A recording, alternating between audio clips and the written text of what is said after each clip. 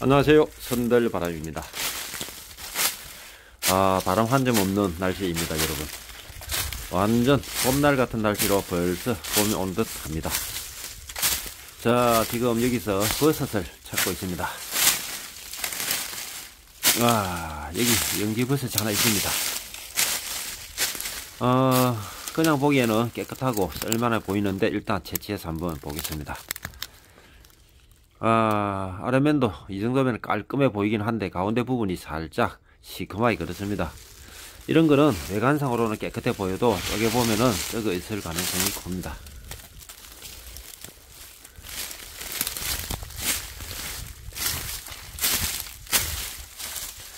자, 또 버섯이 있는지 찾아보겠습니다. 어, 지금 이런 곳에 참나무가 많이 있는 이런 곳에 가면은 연기버섯이 있을 가능성이 큽니다.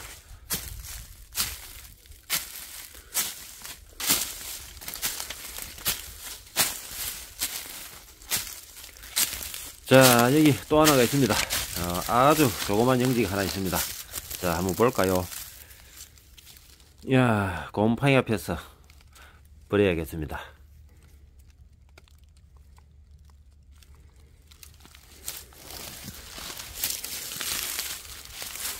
자 또 찾아보겠습니다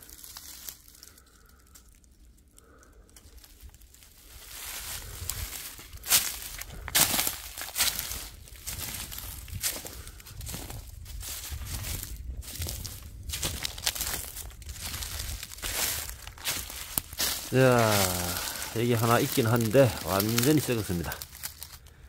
야, 완전 상태 안 좋습니다. 자, 이거는 역시 곰팡이가 피었습니다.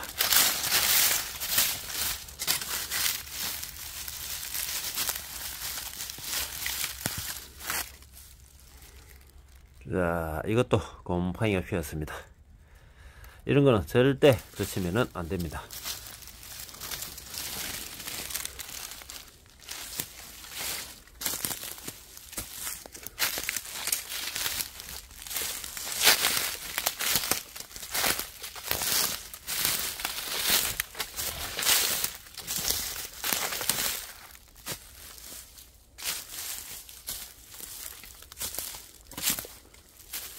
야 여기 부엉이 방구가 하나 있습니다.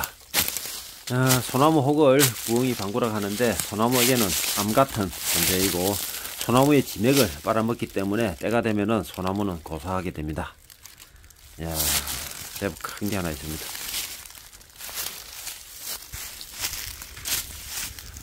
이야 여러분 여기 엄청나게 많이 소나무 혹이 달려 있습니다. 이야 대단합니다 어, 한 그루에 대략 어, 3, 40개 정도는 혹이 달려있는 것 같습니다.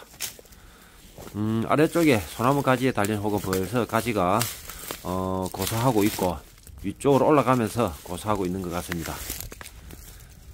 어, 이 소나무에는 혹이 너무 많이 달려가지고 다 죽으면은 가지가 다 죽으면은 소나무 자체도 고사할 수도 있을 것 같습니다.